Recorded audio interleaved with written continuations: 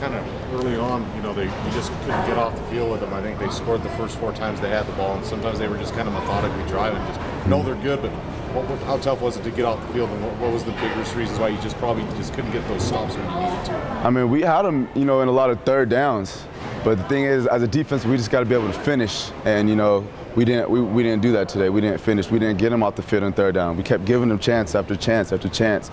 And when you keep giving the offense, you know, like Boise, chance after chance after chance, they're going to put some points up. So, you know, it was just that was on us. You know, we gotta we gotta be able to come out there as a defense, play physical through first, second, third down, get them off the field, and then let our offense, you know, go out there and try to make some points. DJ, I think of their first two drive or two of their first four scoring drives was 14 and 15 plays. Mm-hmm. How tough is it after those, or even at the end of those? Are you getting fatigued? I mean, what are those like? Yeah, you know, it's tough because you know, I, I mean, as a defense obviously you want to get those three and outs, but you don't want to just give them big plays, you know. So you want to try to, if they're going to score, they got to go the distance, and they did that, you know. So that's credit to their offense.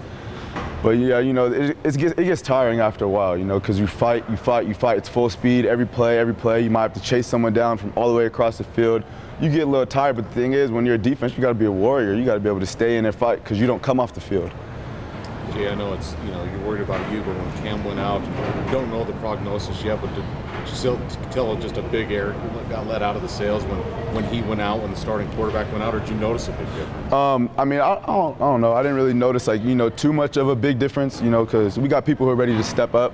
Um, I don't know what's going on with Cam. You know, I hope he's all right. You know, I mean, it didn't really look too bad to me when I when I was watching, but I don't know what's going on. You know, I'm just on the bench talking to defensive coaches. We're just scheming while they're out there playing. So I hope he's I hope he's good. But um, you know, we got people who can come in and step up because that's their job. DJ, what's the mood like in the locker room after the game? You know, everyone's you know it's it's tough when you lose. It hurts, and especially when you when you've lost a lot. You know, when you're having a losing season. I mean we, you can't use the excuse, oh, oh we're, we're a young team, because no, we got experience now. We played game after game after game. We've played, you know, a whole bunch of different competition.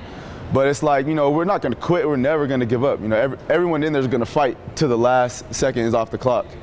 But it's, it, you know, it's hard when you, you go to practice Monday, Tuesday, Wednesday, Thursday. You know, Friday we practice hard every day, and then we come out here, we fight, and then we lose. You know, but the thing is, you know, the, the older guys, we just got to stay on those younger guys and tell them, you know, you got to keep fighting because there's something to learn out of every loss. And, you know, you can't get to the top unless you've been to the bottom, you know what I mean? All right, thank you.